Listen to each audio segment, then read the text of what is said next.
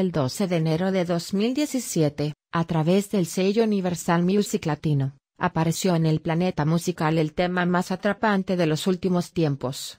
Causó furor, rompió récords y, un año más tarde, Despacito se mantiene vigente.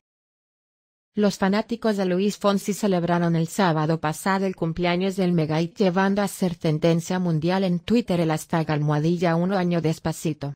Además, el cantante infló el pecho al anunciar que interpretará la canción en la próxima entrega de los Grammy. Feliz de continuar compartiendo nuestra música y raíces con el mundo. Que viva Puerto Rico, expresó Fonsi quien con este tema que interpreta junto al reggaetonero Daddy Yankee se convirtió en una de las grandes figuras de la música latina. A lo largo de este año de éxito, Despacito se convirtió en el video más visto de toda la historia de YouTube. Lleva más de 4 mil millones de visualización y sigue sumando.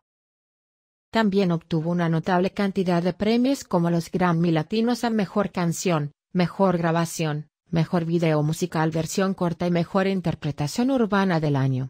Y más de 100 certificaciones de platino y diamante a lo largo del mundo. Los Records,